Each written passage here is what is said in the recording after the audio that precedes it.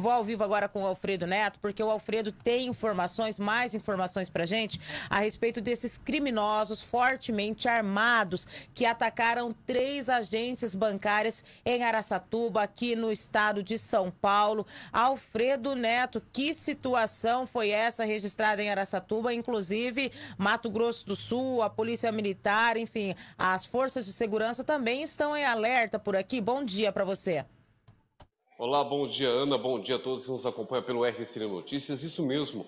Ontem, a Polícia Militar, ontem não, né? Hoje já era madrugada aqui em Três Lagoas, por volta da meia-noite, quatro minutos, todos os policiais militares e civis, estando de plantão ou de folga, receberam o alerta máximo para poder fazer, é, prestar atenção aí ao rádio, ao celular, caso fossem chamados em urgência porque ontem lá era 23, 23 horas em ponta aqui, meia-noite, ou o contrário, perdão, era meia-noite lá, 23 horas aqui, quando um grupo fortemente armado explodiu e invadiu uma agência bancária no centro de Araçatuba, na Praça Rui Barbosa.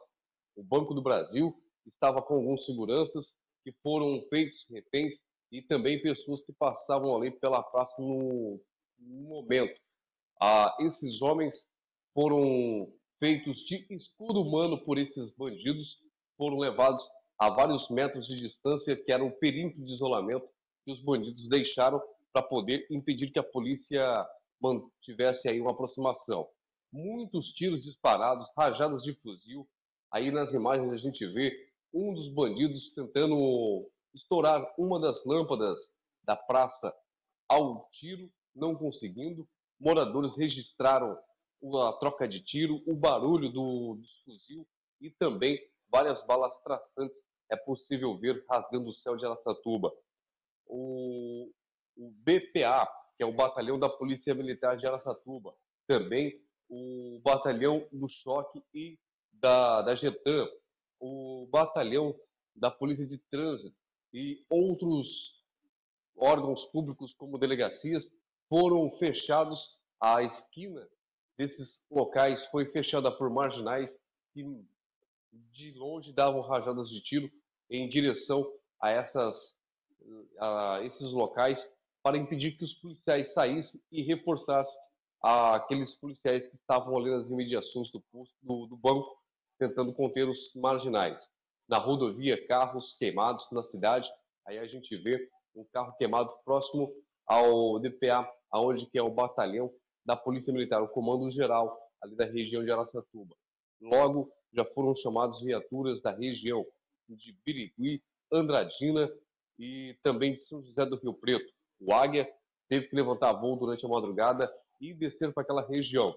Logo em seguida, os marginais fugiram levando o que pôde em dinheiro e também as vítimas como modo aí de manter, tentar manter a vida, levando os reféns. Agora a gente espera que essa caçada termine, porque os policiais estão até agora nessa região fazendo a procura por esses marginais e a região aqui de Três Lagoas também está inclusa, porque aqui poderia ser um dos alvos para esses marginais tentarem se esconder nos ranchos às margens do, dos rios. Ana, Agora a gente vai aguardar aí, ver o, que, o desdobramento e ver uma informação do banco que ainda não informou a quantidade de dinheiro que foi levado neste local. Também não temos a informação ainda se há algum morto ou ferido nesta ação criminosa de pistoleiros ali na cidade de Araçatubana.